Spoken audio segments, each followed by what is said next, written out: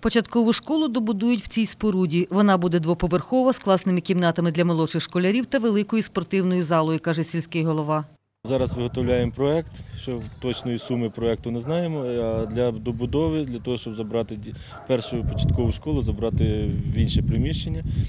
Ось, і щоб е, звільнити приміщення дитячого садочку, так як там вже створилася черга. Там має бути кімната для, для спортзалу. Там у нас в принципі є спортивна зала, але вона для 178 учнів вона замаловата буде. У першому класі Лісово-Гринівецького ліцею урок за програмою нової української школи в ігровій формі. У класі мультимедійна інтерактивна дошка та одномісні парти. Дійсно, сьогодні забезпечення таке на високому рівні. Оці всі нові ось ці ідеї ми маємо втілювати, продовжувати далі, щоб дитини, е, щоб діти були е, конкурентно спроможні в майбутньому. Учителька Раїса Степанівна каже, нова українська школа передбачає щоденні рухливі ігри і 24 учням тут затісно. Директорка ліцею каже, створення опорного освітнього закладу в лісових Гринівцях – логічне рішення.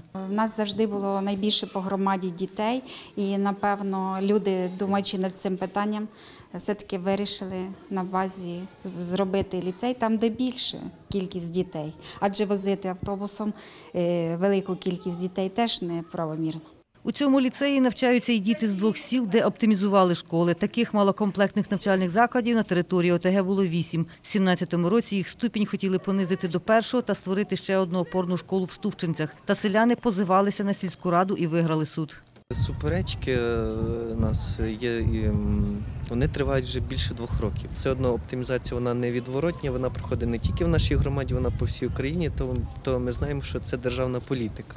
Консультант з комунікації проекту Пульс Асоціації міст України Анна Сіра каже, школи з малою кількістю учнів слід закрити, бо інакше діти не матимуть якісних знань. Реформованим освітнім закладам держава виділяє на розвиток гроші. В чому плюси цього процесу? В тому, що діти отримують доступ до більш якісної освіти. Проте для е, зі сторони жителів процес досить болісний. е, Часто сприймають е, дуже важко. Про закриття шкіл у маленьких селах є така такий стереотип, що якщо закриють школу, то відповідно і села вже не буде. Але е, як показує практика, е, це насправді все не настільки трагічно. Немісцевих учнів до лісових гринівців довозять шкільними автобусами.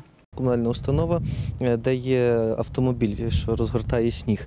І е, транспорт, е, проблем з транспортом не було в нас взагалі.